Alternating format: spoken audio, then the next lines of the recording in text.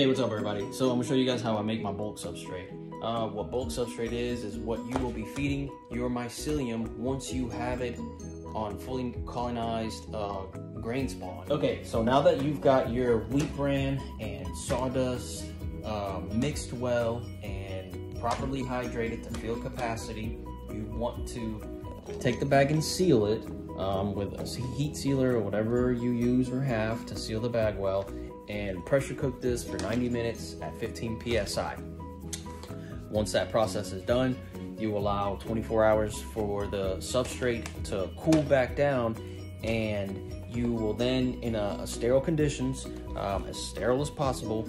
Um, hey, what's up everybody? So uh, now that you have completed your um, oakwood sawdust and bran um, mix and it's been sterilized and it's set for 24 hours. It is now um, cool to handle. So um, as you can see, I've got some maitake going. Um, I've got some chicken of the woods going and I got some uh, lion's mane um, going. So essentially what you do is um, you're gonna take your colonized grain, grain like so. this is another jar of maitake. Um, so with this jar here, I'll break it up and turn it into individual grains. And in front of the laminar flow hood, um, just cut your bag open um, and pour your entire jar in there. Uh, mix it up really well, reseal it.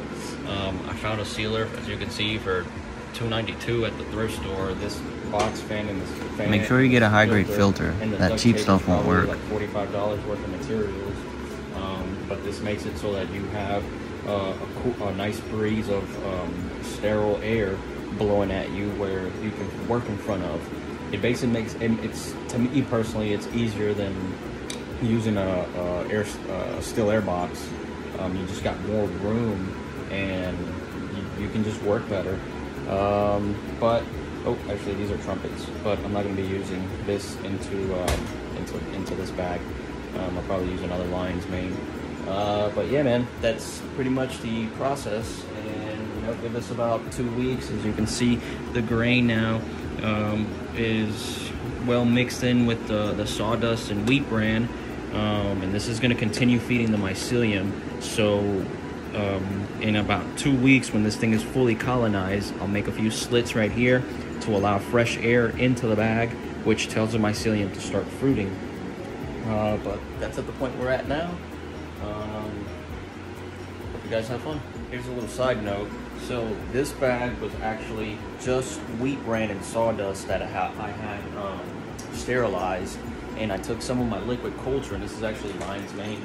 Um, uh, I took some liquid culture and I just shot it into there. But as you can see, the mycelium is just having a really hard time spreading through this.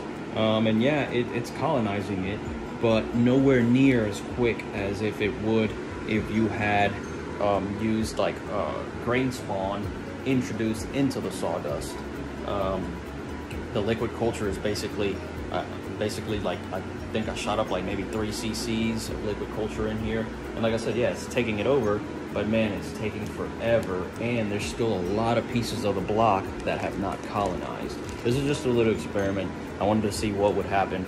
Um, without grain spawn, but as you can see, not much is happening. So the the, the key is to have to have um, nice, healthy, um, colonized grain spawn, and that's the trick.